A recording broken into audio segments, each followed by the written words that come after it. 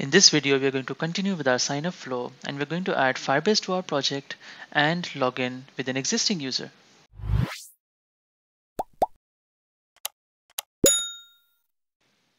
Hey everyone, I'm Zoaib Khan and I'm a front-end engineer. In our previous video, we built our login form complete with validations. And in this video, we're going to add Firebase to our project and we're going to test the whole flow. So let's get started. So to start off, we need to create a new Firebase project we'll visit firebase.com console and we need to log in here as well with a Google account.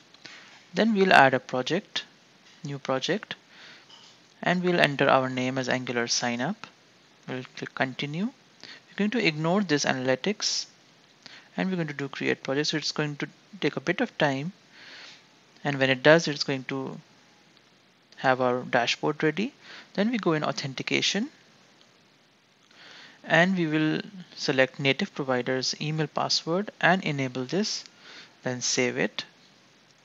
Great it's all set up now. That's all we need for now. So let's get back to our angular app. To add firebase to our app we'll use a very convenient library called angular fire. We'll do ng add angular fire and we'll get a series of prompts which will help us set up firebase locally so the first thing it will ask would be to set up which feature here. So we only need authentication here. We're going to remove uh, deploy as well. And that's it for now. We're going to press enter. Then we're going to select the account that we want to use. I'm selecting my own account here. And then we'll set the project that we've already set up. And we're going to create a new app and we're going to name it Angular Sign Up. Great, we're all set up. And now if we go in our app module, we're going to see Firebase has already been imported. And when we go in our environment, you're going to see all of the Firebase configuration that's already been added. Great, that was quick. Now let's create a new service in our app called the authentication service with ng-generate services. We're going to put it in our services folder and authentication. This service will contain all our code related to login and sign up. So the first thing we'll do in our service is to include the Firebase auth class in our constructor. So we can use it in our methods.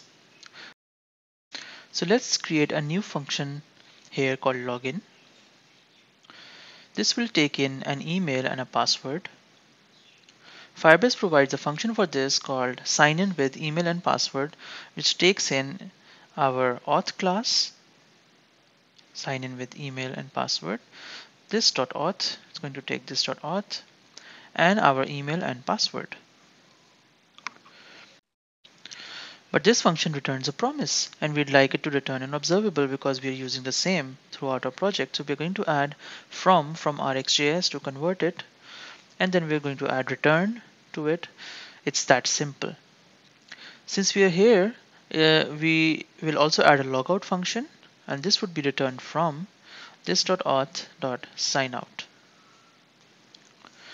Now we need to test the whole flow. Let's add the missing bits on our login form. Let's go to our login form now. And we're going to add an ng submit handler first in the form so that we can submit the form. Ng submit. And we're going to get a submit handler to it. And the submit handler the first thing that we're going to do is to check whether the login form is valid or not.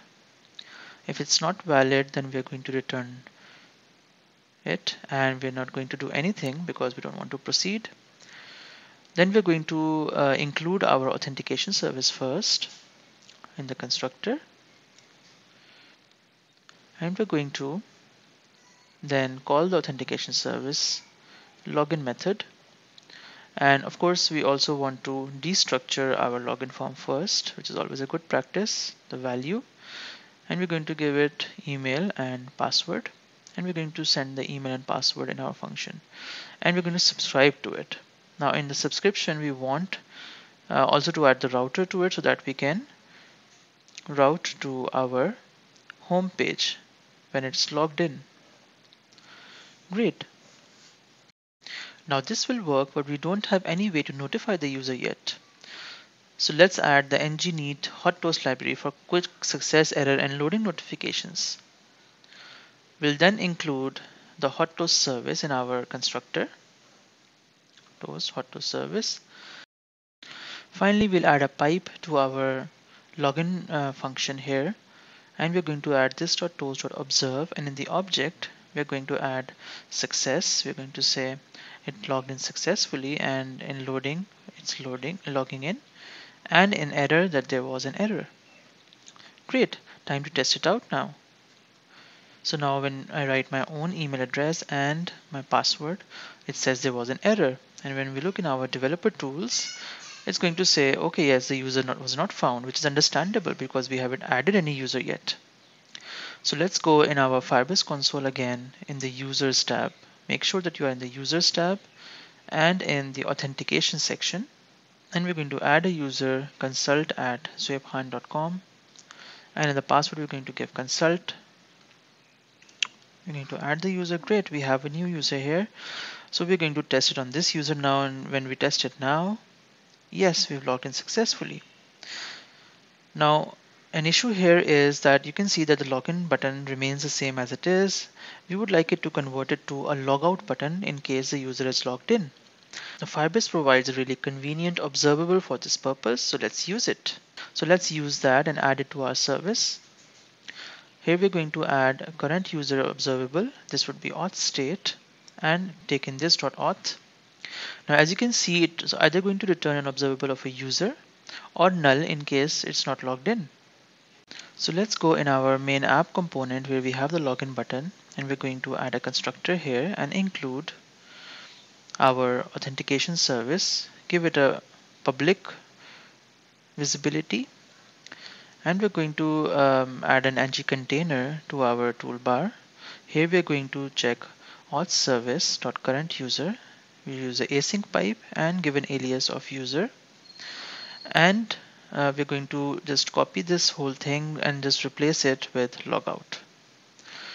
We're going to add a handler called logout. And in the handler we're going to just call this.auth service.logout and on subscription we're going to go back to our main landing page. Okay yes for that we need the router as well. Great next we're going to go back in our template and we're going to enclose our login button inside of a template with an identifier of login button and then we're going to add an else with login button so when we are logged in, it will show the logout button, otherwise it's going to show the login button. So now let's test this out. We're going to log in and when we log in here now, normally, we can see that we get this logout button and we go to the home page.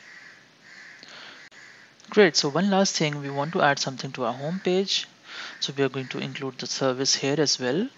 And we're going to add a user variable which links to the current user and here we're going to add an h1 tag and in ngIf we're going to subscribe to the user variable and give an alias of user and then we'll write welcome to our app and we'll use the user.email great so now it shows the currently logged in email address here and when we log out and when we log back in it, it's going to show the email as the first thing Great.